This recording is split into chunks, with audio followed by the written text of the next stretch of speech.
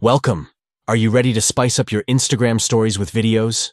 In this updated guide, we'll walk you through the simple process of adding a video to your Instagram story using your Android device.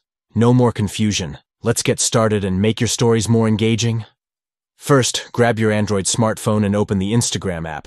If you don't have it yet, just head over to the Play Store to download it.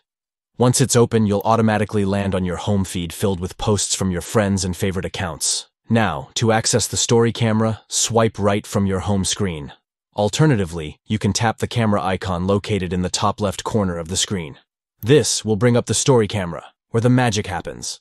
Next, look down at the bottom left of your screen. You'll see a gallery icon. Go ahead and tap that. Once you do, you will be presented with your photo and video gallery. Tap on the videos icon to filter and view all the videos stored on your device. Now it's time to choose the video you want to share. Browse through your collection and select the video that you think will captivate your audience.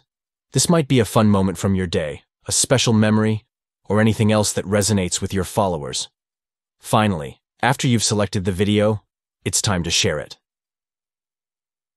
Look down at the bottom left corner of your screen. There you'll see an option that says Your Story.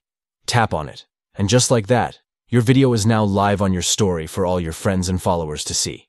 So there you have it. Now you're ready to add videos to your Instagram story and keep your audience engaged. Enjoy sharing.